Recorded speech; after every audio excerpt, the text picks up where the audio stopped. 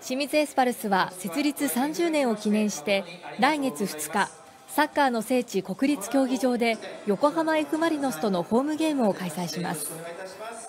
スタジアムをエスパルスカラーのオレンジ色で埋め尽くそうと開かれた昨日のセレモニーでは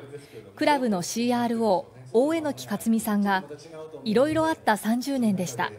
国立競技場はエスパルスにとって特別な場所です。サポーターの力を貸してくださいと熱いメッセージを送りました。国立競技場でのホームゲーム開催は実に16年ぶりです。